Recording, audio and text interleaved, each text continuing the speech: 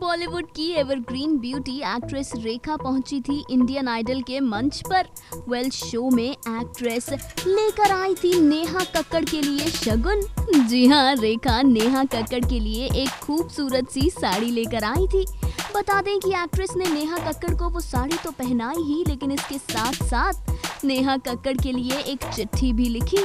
रेखा ने उस चिट्ठी में लिखा ओम पुष्पावली, मेरी प्यारी नेहू, रोहन की प्रीत, जिन्हें आपने किस्मत की लकीरों से चुराया है। मेरी प्रार्थना है कि माता रानी, वाहे गुरु और दुनिया के सारे देवी देवता आप पर ढेर सारा आशीर्वाद बरसाएँ और आप दोनों को सुरक्षित रखें।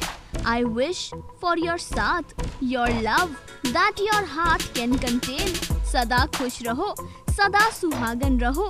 ढेर सारा प्यार और दुआओं के साथ रेखा। जी हाँ इस चिट्ठी के साथ एक्ट्रेस ने दिया नेहा कक्कड़ को शादी का शगुन। बता दें कि नेहा कक्कड़ ने भी अभिनेत्री को शगुन के लिए शुक्रिया कहा।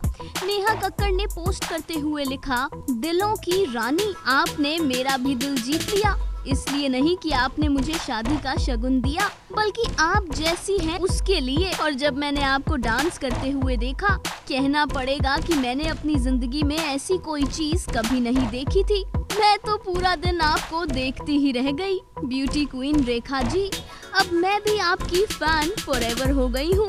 जी हाँ अभिनेत्री रेखा, जिनकी आँखों की मस्ती के मस्ताने हज़ारों हैं, उनके किरदार की, उनके व्यक्तित्व की कायल हो गई हैं Neha Kakkar. Final call news desk